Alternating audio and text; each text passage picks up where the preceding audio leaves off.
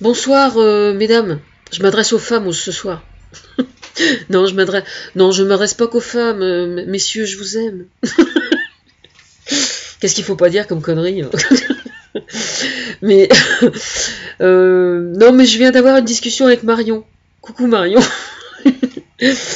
Et en fait, elle me soumettait un, combat qui paraît-il est très important euh, auprès de certaines féministes, qui est l'utilisation, euh, euh, le fait de, de conserver le titre de demoiselle ou de ne pas le conserver. Alors effectivement, la demoiselle sous-entend qu'elle n'est pas en couple, en tout cas, ou éventuellement qu'elle n'est pas mariée, selon que le mec est plus ou moins ouvert d'esprit. Enfin, ça c'est inconscient.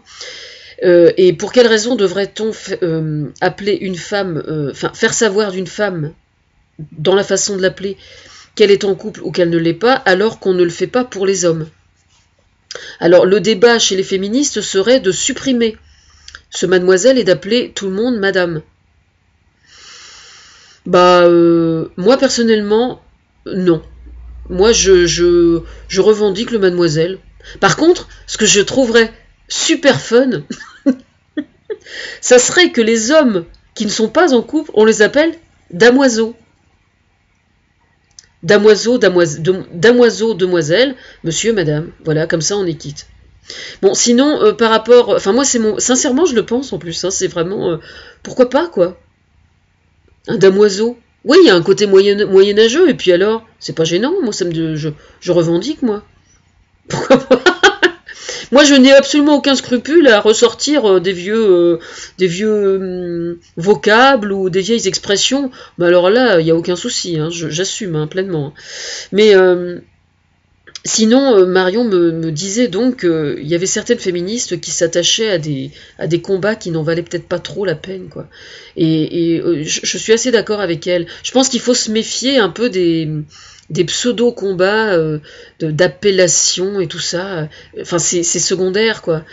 Je veux dire, euh, les, les féministes qui sont attachées à ce genre de détails euh, feraient bien de regarder autour d'elles euh, si les femmes qui sont euh, dans la mouise, par exemple, n'ont pas besoin d'un coup de main, ou simplement qu'on leur paye un café pour tailler la bavette, quoi. Vous voyez ce que je veux dire? Même si c'est pas, même si c'est euh, un grain de sable par rapport aux causes qu'on défend, je pense qu'il faut surtout veiller, euh, on doit surtout veiller sur nous les unes envers les autres. Vraiment, hein, je pense, c'est le plus important. Je disais à Marion justement que moi, ce qui me, tient énormément à cœur, c'est le, le, sort des femmes qui sont euh, à la maison et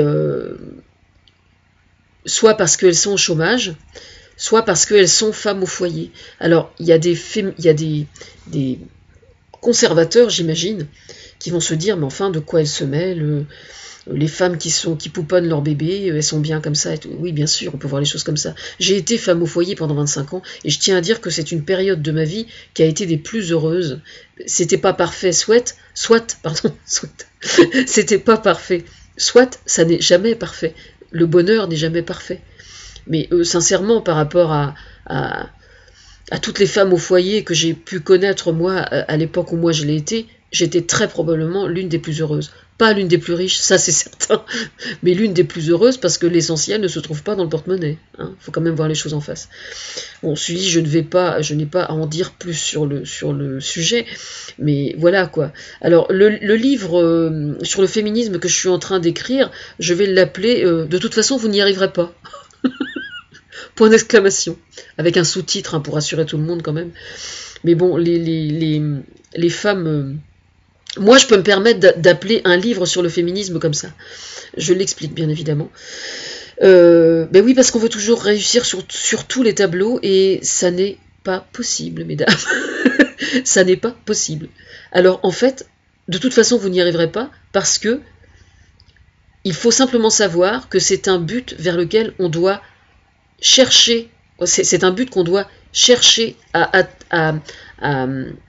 imiter ou à atteindre dans, une certaine proportion. Déjà.